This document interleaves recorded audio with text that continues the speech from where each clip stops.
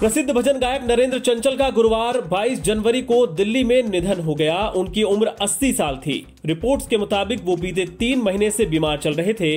इलाज के दौरान दिल्ली के अपोलो अस्पताल में उन्होंने आखिरी सांस ली। नरेंद्र चंचल माता के भजनों के लिए काफ़ी मशहूर थे। उन्होंने बॉलीवुड के कई हिट गानों को भी अपनी आवाज़ दी। चंचल को बेस्ट मेल प्लेबैक सिंगर का फ़िल्म फेयर अवार्ड भी मिल चुका है। उनका जन्म अमृतसर में हुआ था। उन्होंने बॉलीवुड में गायकी की शुरुआत ऋषि कपूर की फ़िल्म बॉबी से 1973 में की थी। इसके बाद बेनाम, रोटी कपड़ा और मकान और अवतार जैसी फ़िल्मों में उनके गाने काफ़ी फ़ेमस हुए। इसके बाद उन्होंने भजन गायकी में काफ़ी नाम कमाया।